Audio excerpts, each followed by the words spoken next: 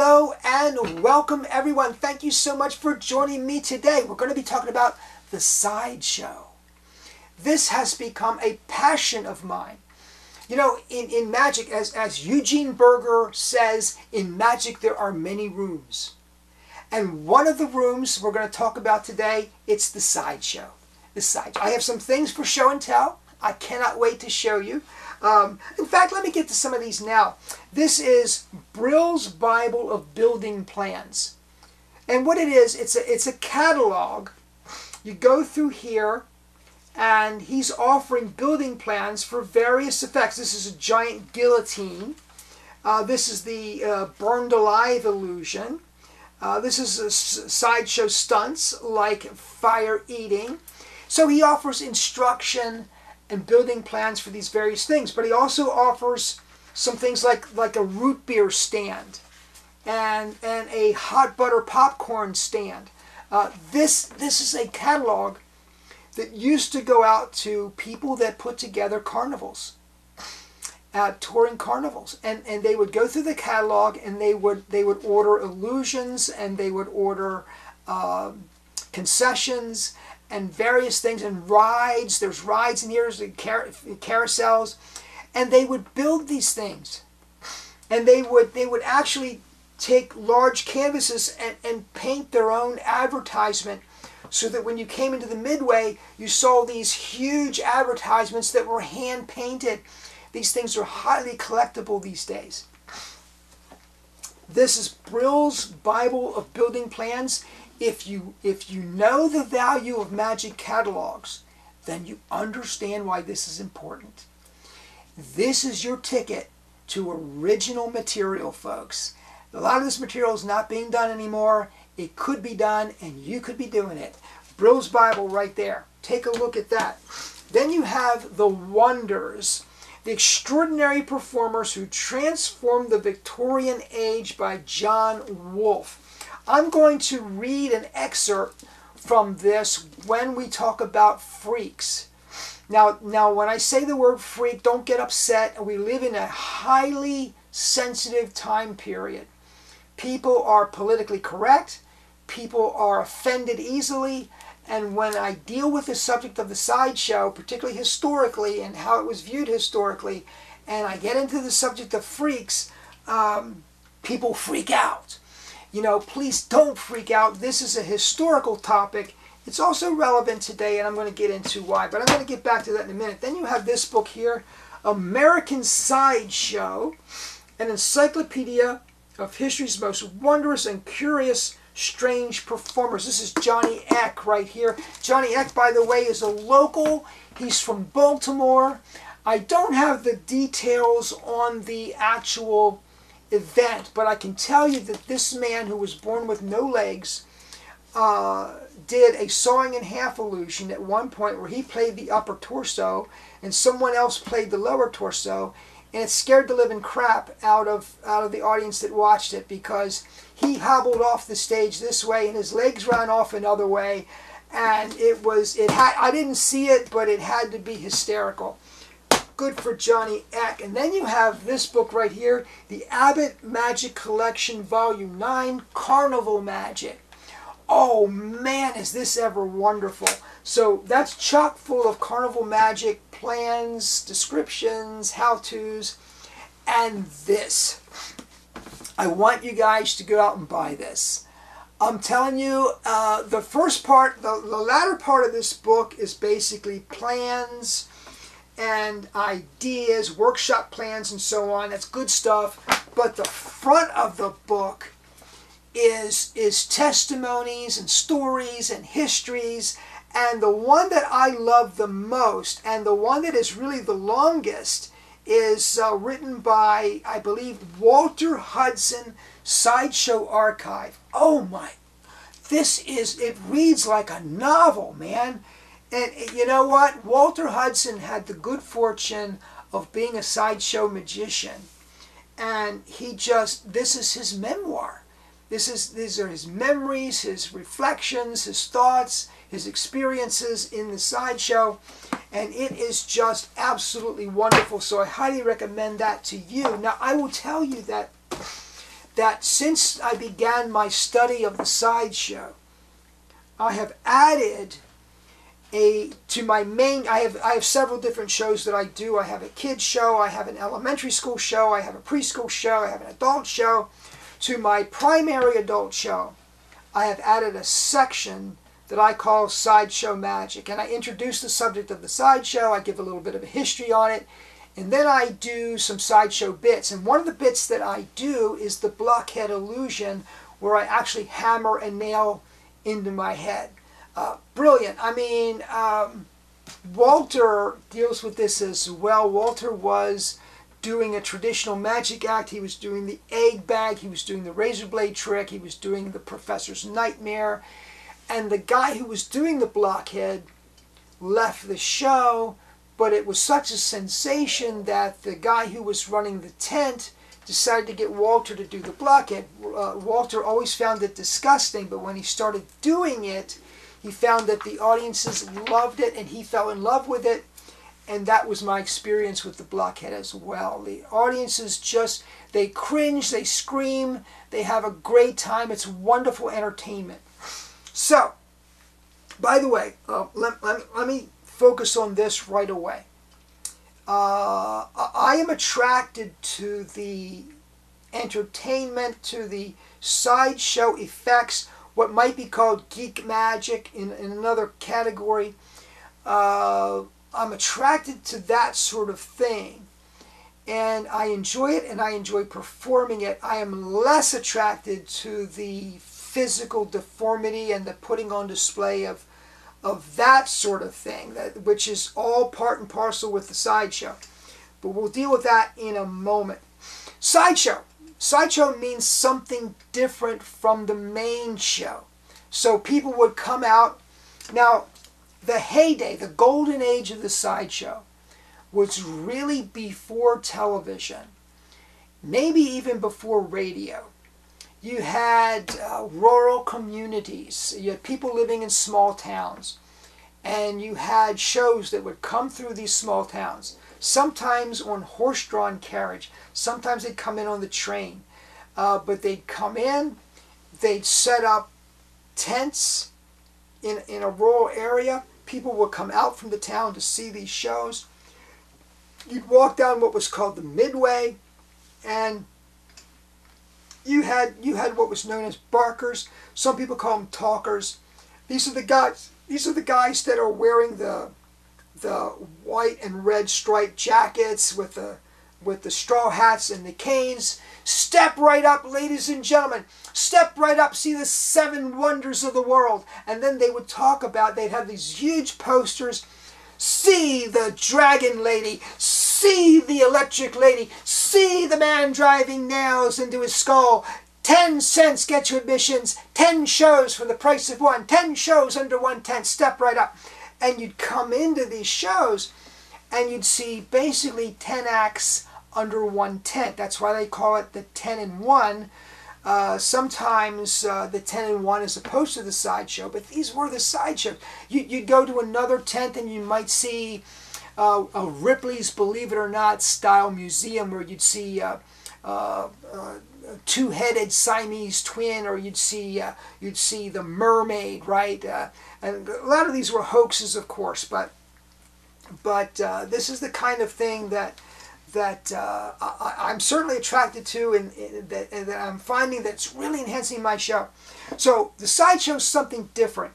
It, it, traditionally, as far as performance art, it included fire eating, sword swallowing, knife throwing, body piercing, laying on a bed of nails, walking up a ladder of sharp sharp uh, swords, uh, you know, you name it, uh, they, they did it.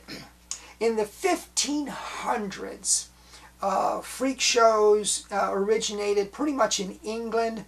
By the way, if you read this book, uh, he documents, and, and this gentleman, um, this is Dr. John Woolf, is a researcher, writer, and historian specializing in 19th century cultural history. He read history at the University of Cambridge and has a PhD on Victorian freak shows a PhD in Victorian freak shows. He has worked in television, radio, and film and was the co-writer for the best-selling Audible book uh, Victorian Secrets with Stephen Fry.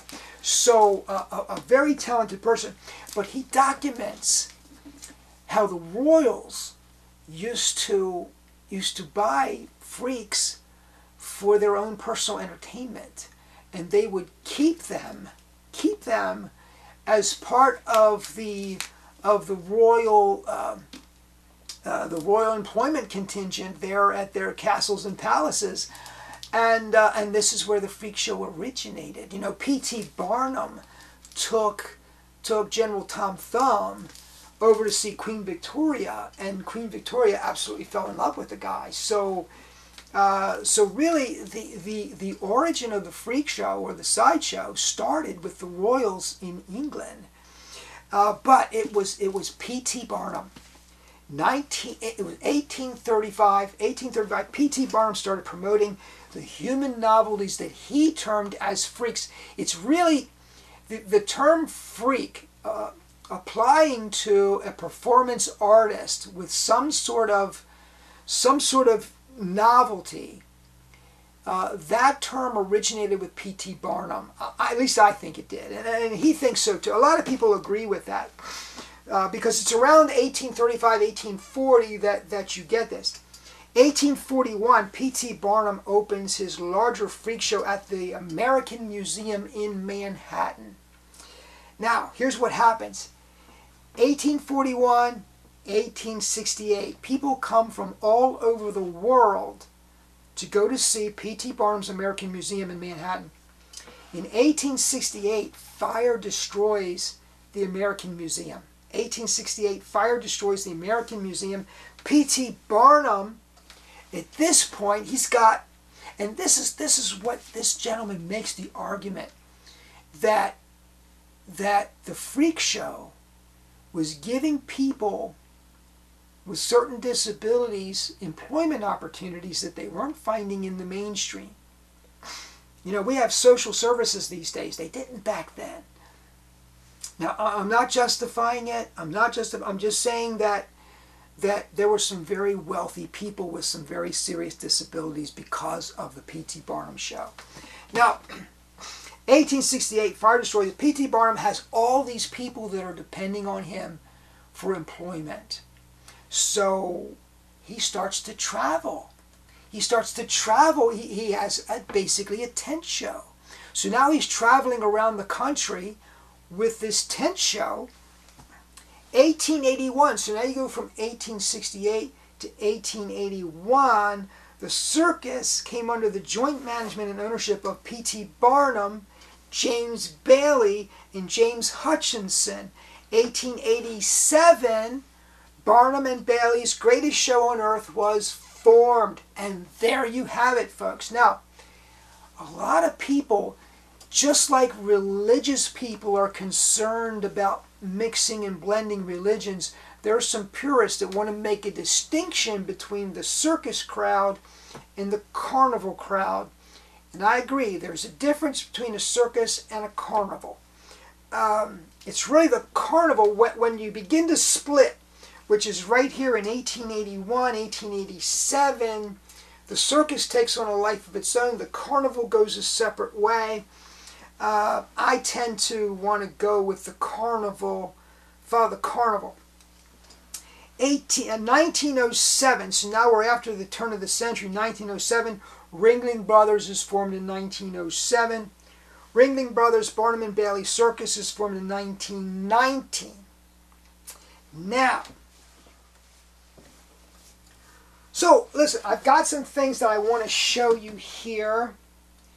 This is an advertisement for the Pit of Curiosities. You have Fiji Mermaid, which was uh, later proven to be a hoax. This was basically a, a skeleton of a, a, a chimpanzee, small infant chimpanzee that was uh, attached to the skeleton of a fish. The Fiji Mermaid. Then you have the Tattooed Lady. At uh, one time in history, it was very unusual for women to have tattoos. Today, it's not so unusual. The conjoined twins, the oracle, the living dead doll, uh, a, a typical a typical list of curiosities from the period. And here's a here's a photograph of P.T. Barnum and Charles Sherwood Stratton. Charles Sherwood Stratton became known as General Tom Thumb. He was born January 4th, 1838, passed away July 15th, 1883. He achieved great fame and fortune working alongside of P.T. Barnum. As I mentioned earlier, P.T. Barnum took him to see Queen Victoria, and Queen Victoria and, and General, uh, General Tom Thumb got along quite nicely. Here you have uh, getting into the, the realm of freaks. This movie is a must-see film for every performance artist. It's called The Man Who Laughs, Victor Hugo, starring Conrad Veidt. Uh, you know,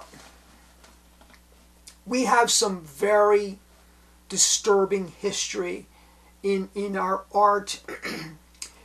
this film documents uh, some of the sideshow proprietors if they couldn't find a sensational freak to draw in the crowds, the marks as they call them, they would make one.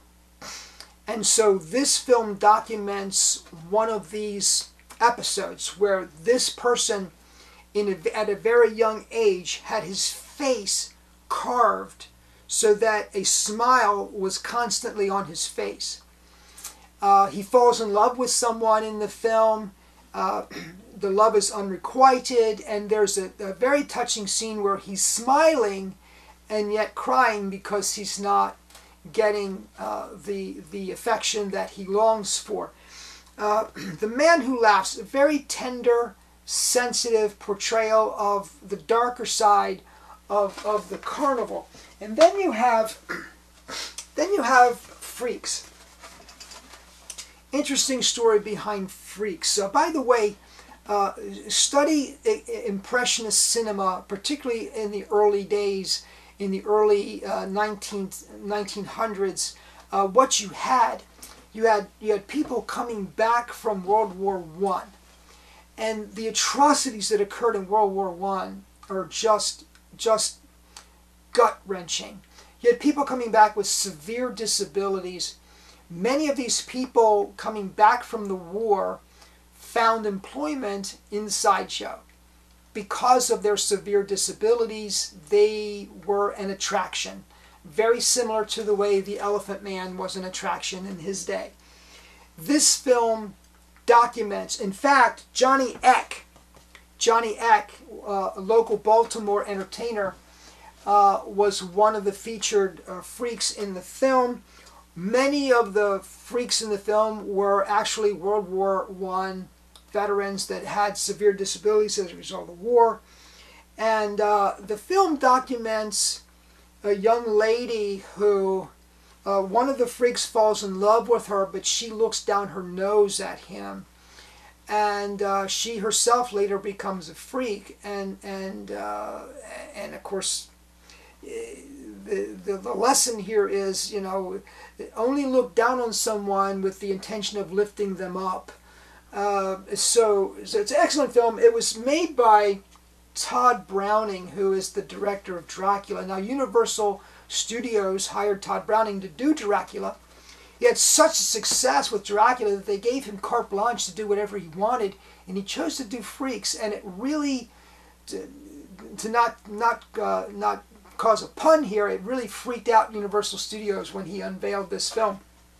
Uh, but it is an important film, and it it really should be watched. Now, let me give you the definition of freak from this book here. Um, let's see, it's on page 13. Yes, here it is. The Wonders by John Woolf. According to Oxford English Dictionary, the freak, short for freak of nature, means an abnormally developed individual of any species, in recent use, a living curiosity exhibited in a show. A living curiosity exhibited in a show. also referred to as monstrosities, oddities, novelties, marvels, and wonders. It was only from the 1840s that the term freak was used consistently in the world of entertainment. There were born freaks such as dwarfs, giants, uh, and exotic freaks such as cannibals and savages, and self-made freaks like the tattooed lady, or those performing novelty acts such as sword swallowing, fire eating, and snake charming. So, in some respects, the magician is thrown in here. Because if you have three categories of freaks born freaks, exotic freaks, and self made freaks the sideshow encompasses the magician. Freak is not a quality that belongs to the person on display. It is something we create, a perspective, a set of practices, a social construction. The freak, in short, was a creation and a presentation. It's hyperbole, it's show business. It designated a persona, an identity, which existed only on stage. General Tom Thumb was a freak, but Charles Stratton was a freak performer.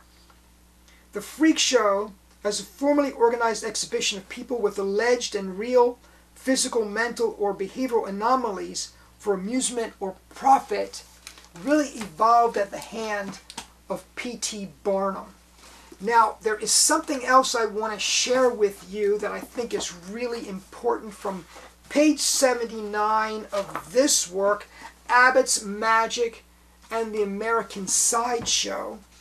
Um, page 79, where this is Walter Hudson, who was a magician in the sideshow, the 10 in 1. He traveled with one tent, not the whole carnival, one tent, 10 acts under one roof. And he makes this distinction. There are three kinds of freaks in the business. The first are the real freaks, the people who are born different. The second kind of freaks is self-made. Most of the half men, half women are self-made freaks. Uh, the third kind of freak are out and out fakes and the worst. What about Magic Act? What about the Magic Act? How does that fit in? You are called working act. Any novelty act. We need your type of act to fill the show. Now, Walter Hudson is asking, now he's a teenager at this point, and he's asking the carnival owner, where do, where do I fit in? I, I'm not a born freak. I'm not a self-made freak. Where do I fit in? You are called a working act. Uh, and other novelty acts as well. We need your type of act to fill out the show, but the real freak is what brings in the marks. In other words, in this day and age, it's the Johnny Eck that was attracting people into the tent. They'd come in to see 10 shows. One of them would be Johnny another would be the magician. By the way, I don't know if I mentioned this. This is uh, the Abbott Magic Collection, Volume 9, Carnival Magic. Uh, a lot of this stuff I'm talking about is documented in there as well. I know this is a difficult subject. Um, and again, it's not my it's not my purpose to focus on the physical abnormalities. My purpose is to look at where magicians were in this environment and maybe resurrect some of what magicians were doing. Um, because I think that uh, if you're a busker, you already know this. That there, there is a, a way that you get people to sta stop. There, people are passing you by, and you need to get them to stop and look. And then there is the carnival magician. You've got people walking down the midway. They've got choices all around them. What's going to pull them into your tent? What's going to bring them back into your tent? That's a relevant question today because our job is to entertain. So folks, I hope you've enjoyed this brief look at the sideshow. Thank you so much for joining me. Please comment down below. Please subscribe if you've not done so already. Thank you so much. I will talk to you next time.